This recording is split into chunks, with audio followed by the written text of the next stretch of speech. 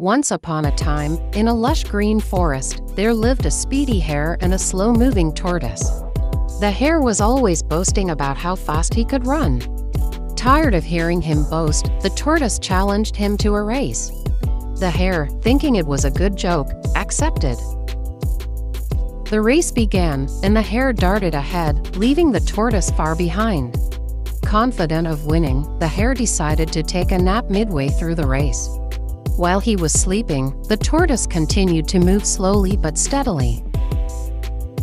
When the hare woke up, he was shocked to find that the tortoise was nearing the finish line. He raced as fast as he could, but it was too late. The tortoise had already crossed the finish line and won the race. Moral lesson Perseverance, just like the tortoise, we should keep going even when things seem tough.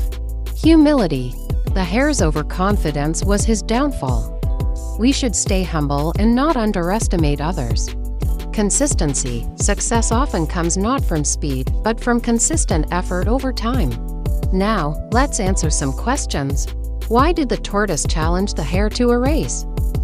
The tortoise challenged the hare to a race because the hare was always boasting about how fast he could run and the tortoise wanted to teach him a lesson.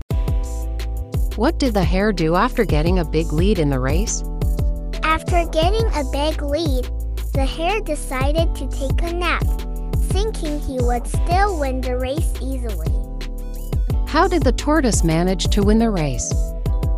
The tortoise won the race by moving slowly but steadily, without stopping, even while the hare was sleeping.